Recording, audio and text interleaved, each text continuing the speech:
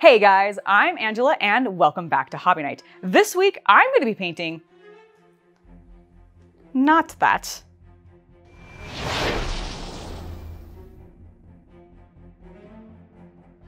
What I will be painting, however, is one of my favorite things. And if you are a fan of this channel and you've been watching me for a while, you're probably gonna know exactly what that is. But for those of you that don't, I really love vampires. And we've gotten a bunch of recent vampire models. And I picked out one in particular that I'm very excited for, and it is from the Crimson Court Underworld set. Prince Duvalle himself. He is majestic. He has a lot of like fleshy bits, but he also has a lot of armor, and he has some clothy bits that I want to play with. And I have some very exciting things I'm gonna be trying on this miniature because I've been playing with metallic paints a lot recently, which is not something that I've done in the past. And I'm really, really enjoying it now that I actually understand how they work and how to manipulate them and how to get them to do what I want them to do. And I want to push that even further and actually play with some colored metallic paints. So for this piece, I have some plans to use a really cool red metallic paint on his armor that I'm hoping you guys are gonna absolutely love. And I'm looking forward to it. So without further ado, let's go ahead and jump right into painting Prince Duvalle. To start, I wanted to get my miniature primed up using some Wraithbone. I did this because I knew I was going to be using a lot of reds and warm color palettes, so I thought the Wraithbone would complement that better, hence the undercoat of that particular color. Now that he's ready to go, let's get some paint on him. I mentioned in the intro that I was going to be playing with a lot of metallic paints this time, in particular some colored metallics, which I hadn't really used before, so I wanted to do a little bit of testing before I got going with this project. And what I did is I tested to see what would work best as a base coat for my red metallic paint that I was going to be using on his armor, and ultimately decided that Black Templar was going to work best. I was going for a particularly deep red color tone, and I did try out Flesh Tearers Red to see if maybe that would work because it is already a dark, dark red, but the Black Templar ended up working best, so that's what I went with. It also worked out beneficially because this color can work underneath the golds and silvers that I'm going to be applying to him as well, so I can just get all of the parts that I need to be metallic hit up in this color. I also want his hair to be black, so I'm going to make sure to hit that at this time while I've got this color out. Gemstone is the color that we're going to be painting his armor in, and I absolutely adore this color. I've only used it this one time and the little bit of testing that I did prior to this video, and I immediately fell in love with this color. It is a glorious sort of cherry red, like candy colored look and I just love it. It's exactly what I want for his armor because I was wanting to go with this sort of classic blood red armor appearance, but I wanted it to actually be shiny. And I didn't want to have to do that with a wash or anything. So I'm really glad that I had this paint. It's an army painter paint, which I've not actually used a huge amount, but I'm really enjoying branching out my paint varieties and going and trying these other colors in combination with all of my Citadel colors, which I still love a lot. Before we fully finish up his armor, I want to take a brief pause and go ahead and actually use some natural steel on his sword because there's some pieces on his sword that I want to be gold and I figured getting the steel down first would just be easier and save me some cleanup and hassle, so I did it first. Plus there are a couple of pieces on the armor in particular, some of the like blood drops and other embellishments on his belt that I also want to use the steel color on just to help break up some of the colors and add a little bit more variety to the overall look of my mini.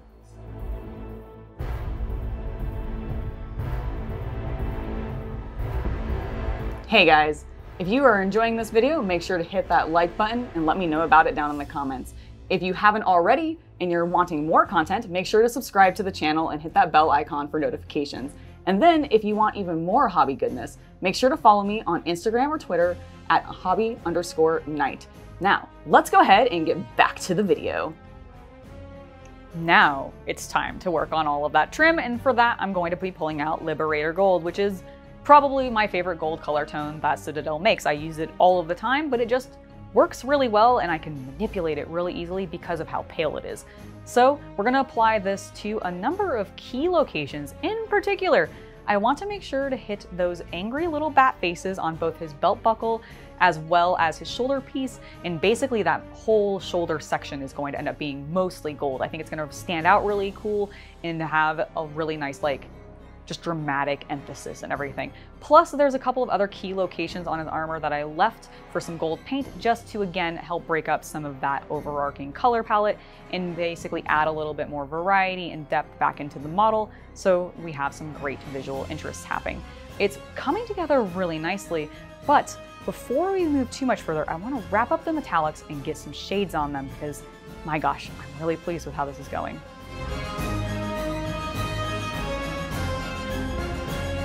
And the first wash that I'm going to be using is Carroburg Crimson.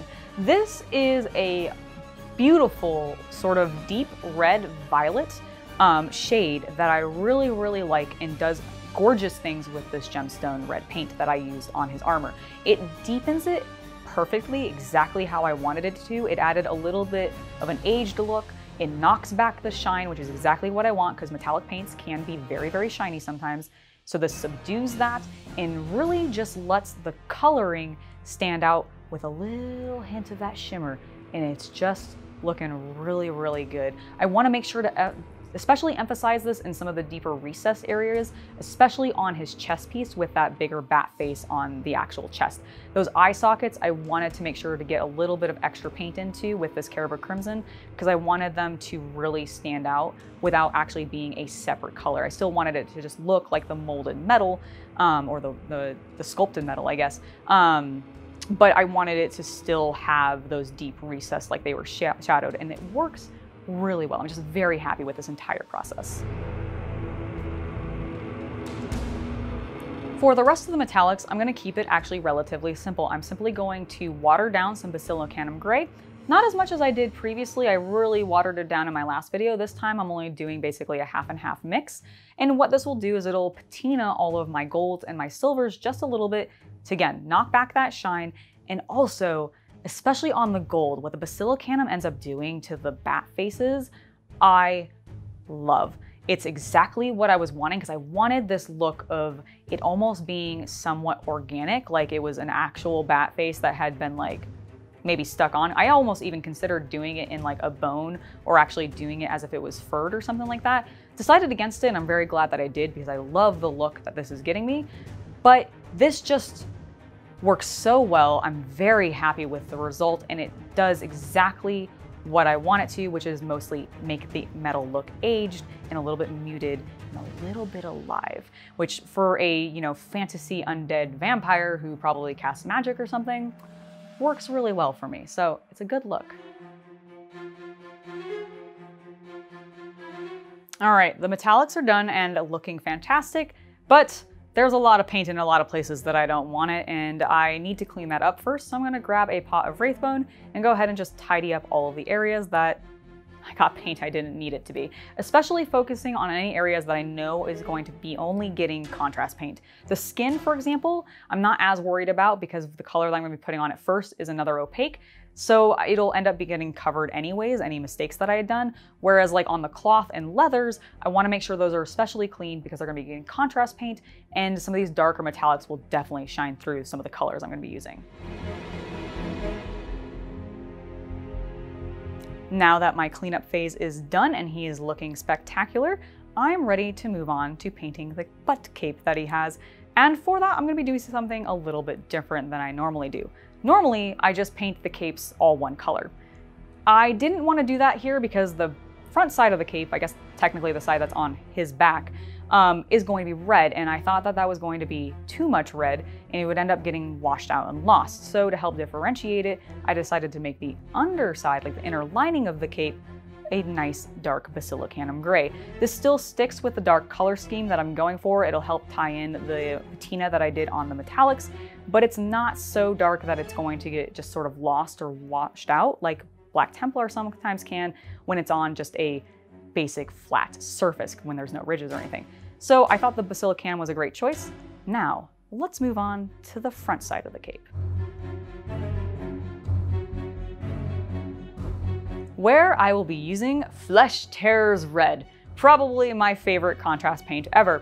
I just adore this color. You can put it on in a single coat, which is exactly what I did here. Now, I had a almost disaster happen while I was painting this because my hand just decided to wildly slip and I got some red paint on the Basilicanum gray that I had just painted and I panicked briefly but continued with what I was doing because one of the benefits that contrast paint has is it stays wet relatively longer than some other paints. Now it still dries very, very quickly, but if you've globbed it on, kind of like how I did when I was painting this fabric, because I knew I wanted to move that paint around, it was still very, very wet.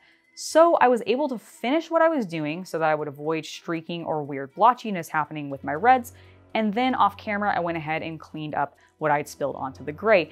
It actually was able to blot up really easily with just a clean brush with a little bit of water. The gray paint stuck fine, the red lifted right off, and I only needed to do a very minor amount of gray touch-up on basically just like the very, very edges to kind of darken them back down and hide a little bit of staining. But overall, it worked really well. So if you ever have this happen to you where you maybe have some contrast paint spill, and if it's still very wet, don't panic finish what you're doing, and then go clean it up if you have the time, because you can probably then save yourself some extra effort later of having to fix what you had to stop in the middle of to, you know, clean up your mistake. Just my little bit of advice.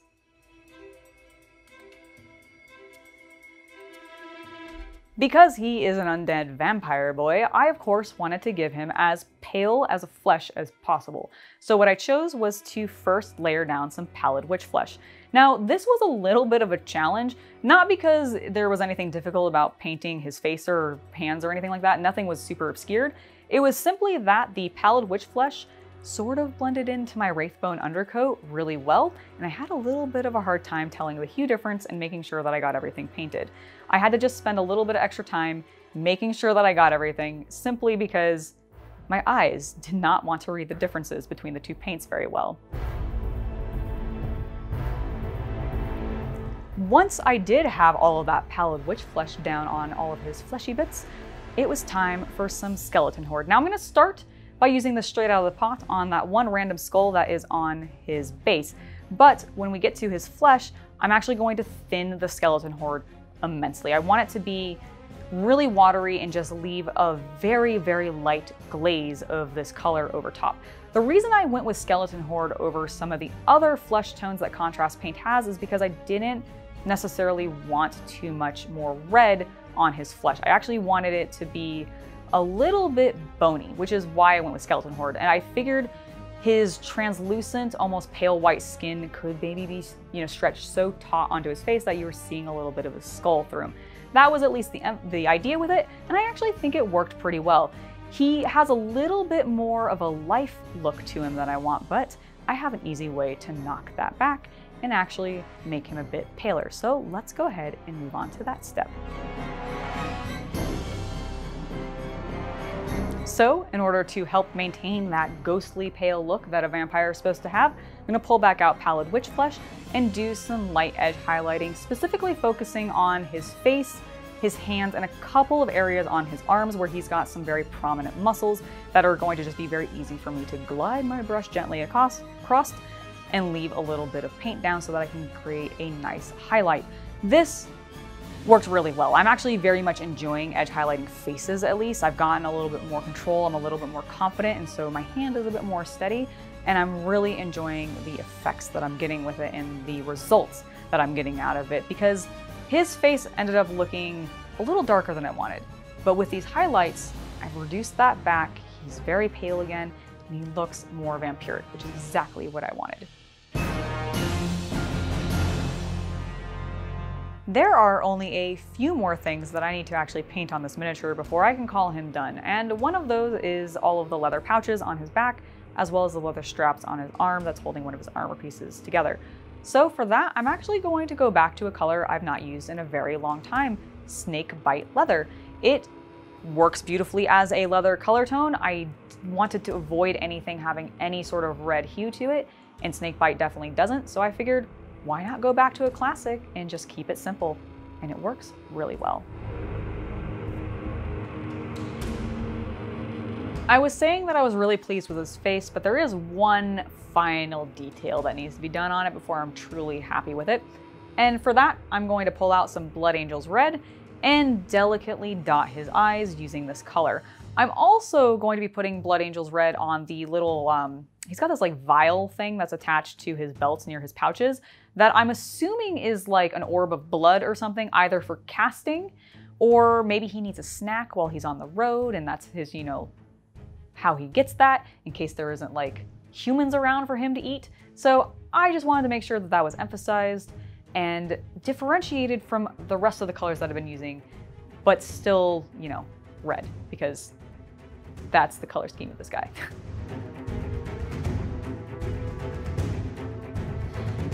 All right, my vampire is basically done except for his base, and there's actually not that much that we need to do to it. The first thing that we're going to do is tackle that beautiful bust using some Apothecary White, and we're just gonna put this directly over top. I have used Apothecary White a number of times, um, either on camera or off camera, I can't remember now, on marble and other stones, and I love it. I absolutely love it. The slight blue tint that that color has when it dries and that how it settles into the recesses just always works for me. And in particular, it just almost always seems to look just really good on these really detailed, cracked, broken busts that GW likes to put on a lot of their sculpted bases. So we apply that evenly and let it dry. Next, I'm gonna grab some Space Wolf Gray to complement that really pretty blue shadow color that I got on my marble. Um, because I just really want to emphasize that and sort of tie them together. So Space Wolf Gray has this nice cool undertone, a little bit of a blue hue, and it works really well. But it's not quite doing what I want it to, so I'm gonna do a quick dry brush to see if that helps add a little bit more detail back in. And that next color is going to be Fenrisian Gray. I'm doing this because I wanted to see about getting some interesting effects on the stone to give it a little bit more of an actual textured look, um, as well as I wanted to brighten up and re-highlight some of the stones because I thought they had gotten a little bit dark and a little bit splotchy. So I figured this would help blend my color a little bit, and it does, but not quite to the level that I wanted it to. So we have one more thing that I'm gonna do to the base before I'm gonna call it done. And that final thing is simply to basically wash it with some Space Wolf Gray one more time to reduce the textured effect that I got with my Fenrisian Gray because I ended up going a little heavier than I intended. But the texture actually ended up being pretty cool and this wash that I've put back over top really reduces it down and blends it all together and now he is done. So let's take a look at the final product. And here he is, my majestic, regal vampire lord, and I absolutely love the way that he turned out. I had a lot of challenges going into him that made me a little bit nervous for my vampire guy because I wasn't 100% sure how the armor was going to turn out with using the metallic paints.